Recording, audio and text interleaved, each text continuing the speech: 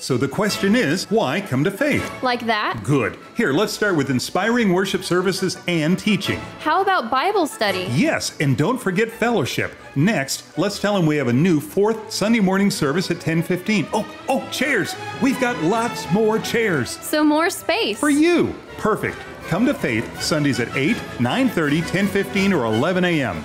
Faith Baptist Church, one mile east of I 65 on State Road 26 East.